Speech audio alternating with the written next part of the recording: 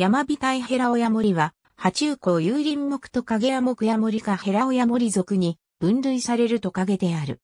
体の模様が苔むした樹皮のようになっており、個体ごとに模様が異なる。マダガスカル北部、東部の固有種である。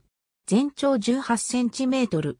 山火体という和名の通り、粉炭は短くそのため粉炭から目部までの傾斜は急。体色は個体によって変異があり、体側面や尾にあるひだは樹皮と輪郭を目立たなくさせ、擬態に役立つ。また個体によっては、苔のような緑色の反紋を持つ個体もいる。樹皮に擬態している山火体ヘラオヤモリ。山地の森林に生息する。夜行性で、昼間は四肢を広げて、木の枝や幹に密着し、動かないことが多い。食性は動物食で昆虫類、節足動物、小型爬虫類等を食べる。繁殖形態は卵性で1回に2個ずつの卵を数回に分けて地面に産む。